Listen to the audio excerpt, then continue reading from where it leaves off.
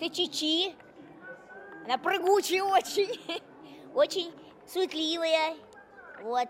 Видите, становится медсестрой, помощником доктора Айболита. Исполнительница обезьяны Чичи, а также автор инсценировки Наталья Егорова выстрадала всю историю Корнея Чуковского. Вроде бы бесхитростная история, но препарировать ее с помощью планшет-тростевых кукол всегда непредсказуемо. И существует немало версий в кино, театре, мультипликации. Сама же сказка Айболит, она очень коротенькая.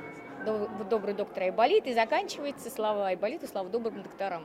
И вот э, туда, есть еще сказка Бармалей туда вошла, телефон, краденое солнце. Первое знакомство вообще было, конечно, не сказка мамы, а именно Айболит 66 фильм.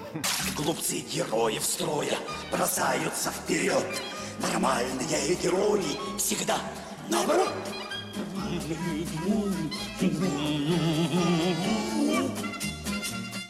Классическом сюжете Корнея Чуковского есть весь знакомый ассортимент. Это и Бармалей, коварная Варвара, сестра Айболита, собака Авва, попугай Коруда и прочая живность. Все когда-то читали сказки Чуковского. У меня, конечно, всегда в голове был, я хотел его ставить, но подумал, наверное, лучше сейчас.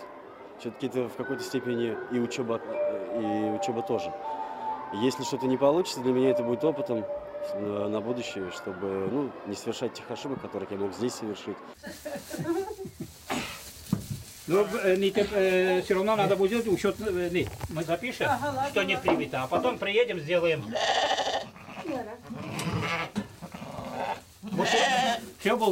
Тема добра и зла, врачебной помощи и лечения животных одинаково привлекательна в разных жанрах. И в жизни зверята требует участия и сострадания. В районах началась прививочная кампания от бешенства. Вот тот самый случай, когда сказка сплетается с реальностью.